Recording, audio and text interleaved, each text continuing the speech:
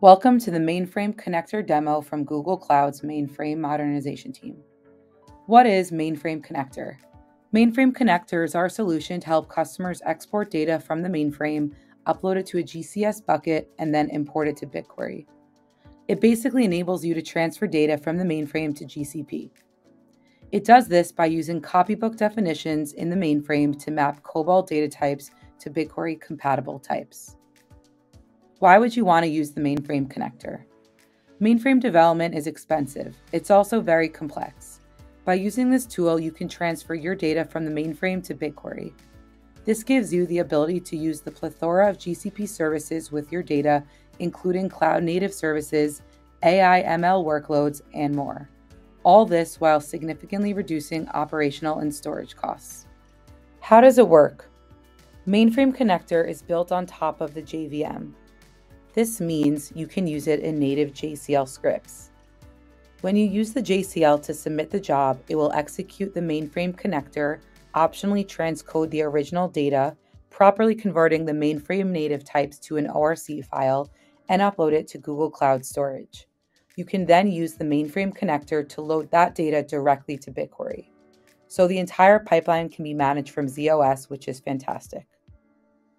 Now let me take you through a quick demo. So this is the mainframe.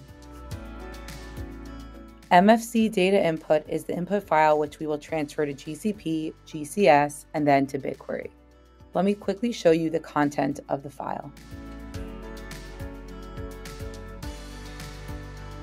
The input file contains orders. There are columns for the order ID, order product name, product ID, and quantity.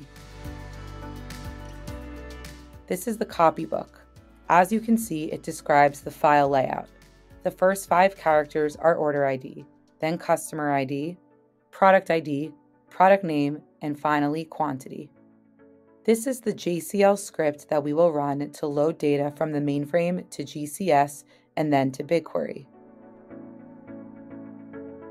The first step, as you can see, executes a BQSH proc, which in turn invokes the mainframe connector Java application, which transcodes and transfers the data. It takes two inputs. InFile, which is the input file that will be transferred to GCP,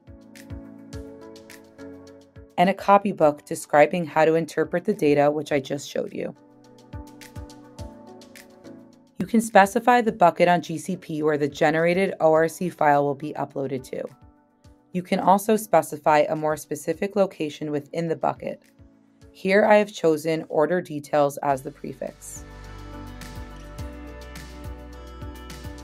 Once this step runs, the mainframe connector will transcode the dataset to ORC format and place it in the bucket. Later in the step of the JCL script, which again takes the bucket name as the input, we run the bq load command.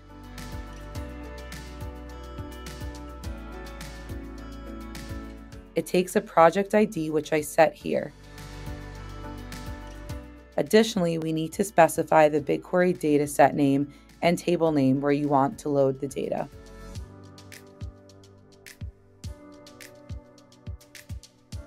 This is the proc BQSH where you can define environment variables. There are many environment variables that can be used to configure the mainframe connector.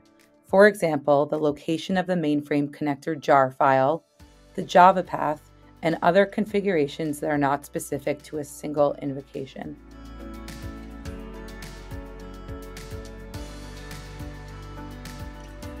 I will quickly submit the job. As you can see, the job has run. It has taken the configurations from the environment for example, where the key file is stored. It has executed the first step. You can see it invoked the proc bqsh. This is the GCS prefix we defined earlier, and this is where the ORC files will be stored. This is the key file.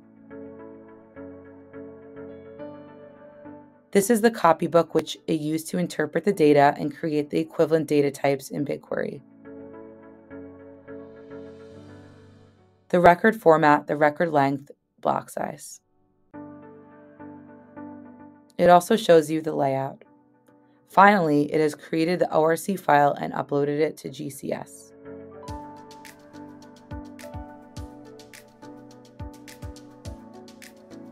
Let us now quickly verify that the data has been uploaded. This is the bucket that we defined in the job. As you can see, the data is where we wanted it to be, and you can see that our order details ORC has successfully uploaded to GCS.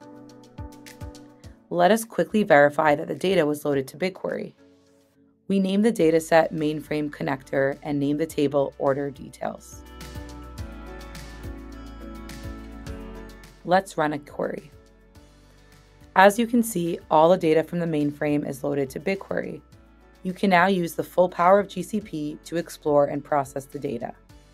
As an example, let's explore the data with Looker Studio.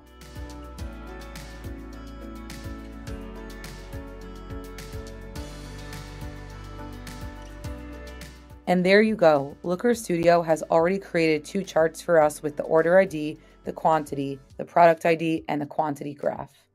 There are no limits to what you can now do with your data. Thank you. I hope you enjoyed the demo.